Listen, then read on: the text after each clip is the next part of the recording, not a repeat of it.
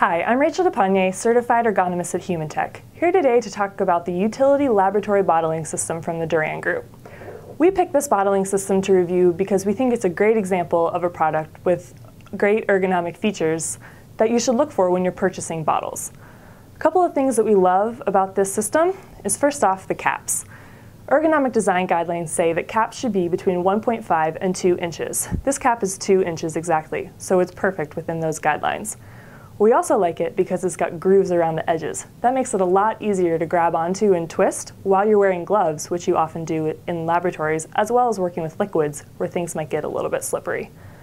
It also has a very low thread count, which makes it easy to remove the cap and put it back on while minimizing hand and wrist postures.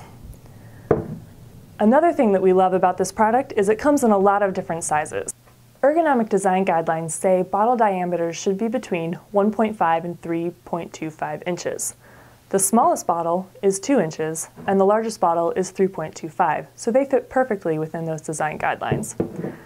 Another great feature is that the bottles have indents on both sides, which helps reduce your grip span, which makes you a little bit stronger while you're working and reduces the chance of things slipping out of your hand. Another feature that we really love is that the bottles come with different color-coded tabs. This helps you be more aware of which products are in which bottles and reduces error while you're working. A couple of things that we would love to see with this product is that the cap be made of a slightly compressible material. This makes it a little bit easier to grab and reduces the strength required to open and close the cap. The tab on the tags should be a little bit bigger, at least 0.6 inches to accommodate your thumb pad width. Additionally, the clearance between the tag and the bottle should be at least 0.75 inches, and ideally it should take no more than 4.8 pounds of force to remove the tag from the bottle.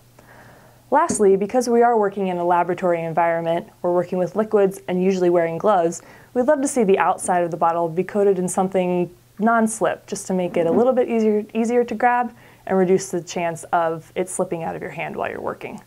But all in all, we think this is a really great product. I'm Rachel, and thanks for checking in.